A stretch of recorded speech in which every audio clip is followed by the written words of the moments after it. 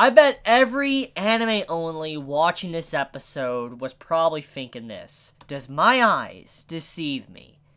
Do I see a female character falling in love with another character that isn't Kirito?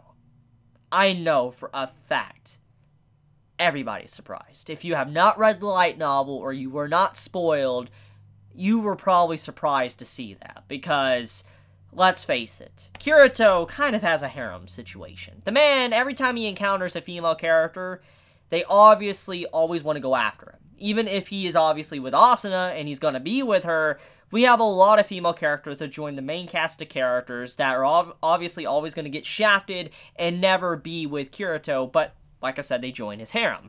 And it's just, it's refreshing to see a female character that's just not, you know, wanting to be with Kirito and actually falling in love with someone else, which is Eugeo. It really just concretes the fact that Eugeo is not just a you know, throwaway character. He's not a character that is just here to be here and that's it. He clearly is an MC that's very important to this arc, and that is clearly what the writer is trying to prove in this moment, that, yes, Kirito's not the only one that's actually getting romantic interest, other people are, which, once again, we see that towards the end. So, just, like I said, refreshing, I love that, and I think many anime-onlys are just going to be very shocked, like, is this, is this even SAO anymore? Kirito's getting character development, Kirito, you know, showing emotions and stuff, Kirito is, you know, not unstoppable and godlike. All these things with the plot, you know, armor and stuff is finally getting explained to the whole situation now with, you know, his friend Eugeo actually getting a girl after him, instead Kirito stealing it. It's just, it's great to see. And I, I just think many are really going to start falling in love with this series even more, getting to see what SAO truly is instead of the shallow husk it was in the first season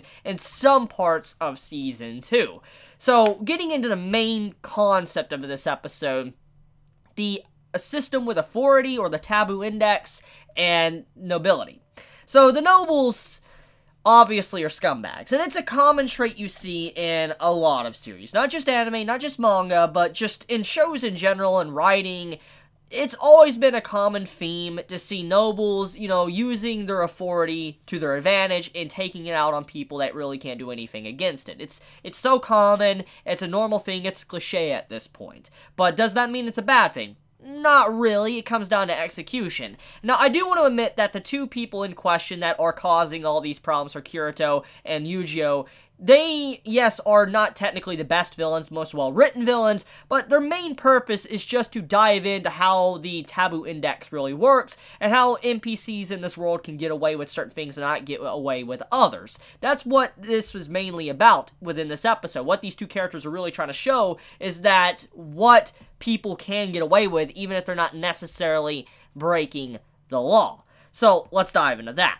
So, we've seen since the very beginning, Kirito's been going out of his way, basically breaking the taboo index, but not breaking it. Like, he's just kind of bending the law a little bit to be able to do what he wants. Maybe sleeping in or being able to train with a sword or whatever on a day of rest, you know, just practicing or whatever. Basically, Kirito has found many ways to go around the taboo index, and this is something we've seen consistently since the first episode.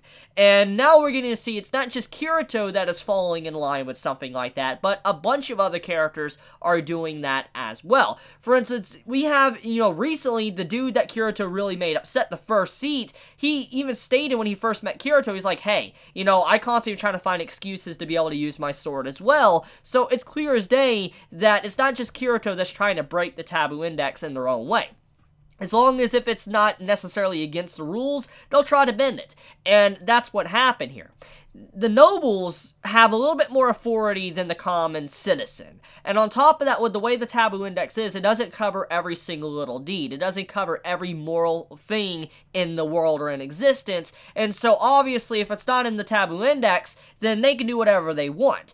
And that's pretty much what's happening here, is that they were exercising their authority as nobles against people underneath them. They can't do anything. They can't fight back against it because if they were, they would get in even more trouble and break the taboo index, so they just don't want none of that. So yeah, it's the interesting part of what this episode is trying to show, is that this world is very complicated, and it kind of falls into how society is in general. Like, it's something that happens in everyday life. You cannot tell me that is not the truth. You have to where there's people in, you know, our world right now that obviously have more authority than others, and they're able to get away with things that the normal common folk like us are not able to really get away with, because they either have more money, connections, whatever, and that's the big point here, what this episode is trying to show. It's kind of relatable, how you can relate it to real life, but it also just shows, once again, the problem within this world, and how, even though they're not necessarily, let's say, stealing from each other, they can do other things. For instance, what we saw, how they messed with Kirito's property. They messed with it, destroyed it, and that's how they got away with it, but it was because they were nobles. They were able to do something like that.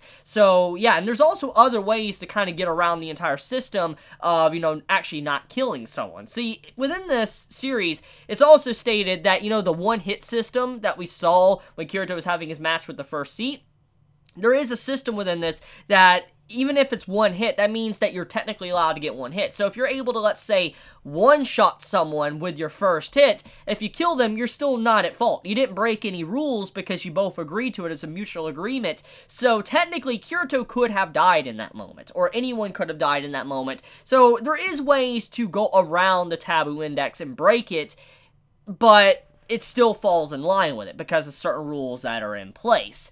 But yeah, that's the main purpose of what this episode is trying to show. Just showing that these nobles, they're scumbags, yes, they're not the best villains of all time, but they're able to manipulate things to do what they want, which is kind of set up for things to expect in the future, seeing characters work around these rules to get what they want. And so you could probably see maybe other characters like Eugeo and all that probably figuring stuff like this out to be able to get away, uh, away with other things that are obviously wrong.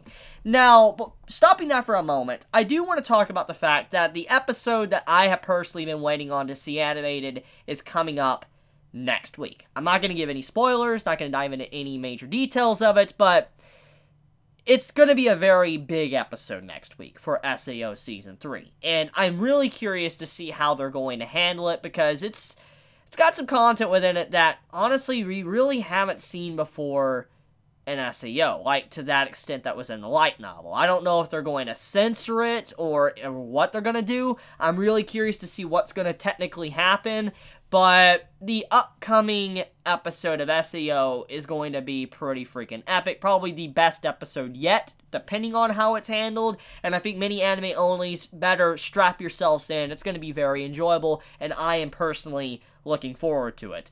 But getting on to the main topic, Basically, within this episode, though, we also get to see the weight of these nobles. For instance, the two nobles have been terrorizing Eugeo and Kirito. We get to see kind of how, once again, the incarnation system and the ability to basically have your imagination or focus something like the weight behind your sword, how much it matters. And when you saw that power rising up when Eugeo was clashing with the nobles, what that was signifying is that, yes, even the scummiest of scum and the weakest of weak can also have great power behind them if they truly believe in certain things like their imagination to their, you know, incarnation all that, the resolve to want something, they believed in their absolute authority. They believed in their noble self to be able to put down Eugeo. Obviously, he did overpower them, but the point was, is that Eugeo you know, it was having a hard time against two nobles that obviously really aren't that strong. So you gotta imagine someone that has an iron will, someone that really believes in themselves, have, has this, like, certain morals about them, they're probably able to do some crazy stuff, and that's what we saw here within this episode. Another example that anyone can use the system that Kirito has technically been using since the start of the series.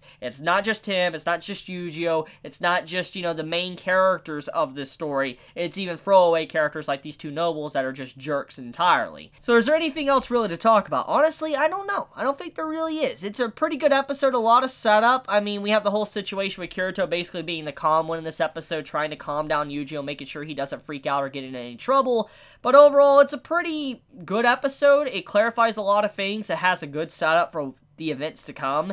And I think many are going to be able to appreciate these little elements that this episode is doing with the whole stuff with Eugeo and how he has a romantic interest to, you know, how Kirito is remaining cool or, you know, how the nobles are acting and stuff or how the world works. I think many are going to be able to appreciate what the series is about. So I think I'm going to end it there. Let me know your thoughts in the comments below. If you enjoy my content, you know, please subscribe. If you like this video, please leave a like. And if you want to get notified for whenever I upload a video, please click the bell icon down below. Because for some reason, even if you click the subscribe button, you don't always get notified for whenever a video is uploaded. So if you want to be notified, click that bell icon down below. And this doesn't just go for me, it goes for every single YouTuber on the platform. So even if you don't care about my content or you don't care to watch it, whatever, at the very least, go out of your way and click the bell icon for the YouTubers you do care about because it does help them out. Because, like I said, you pretty much have to double subscribe.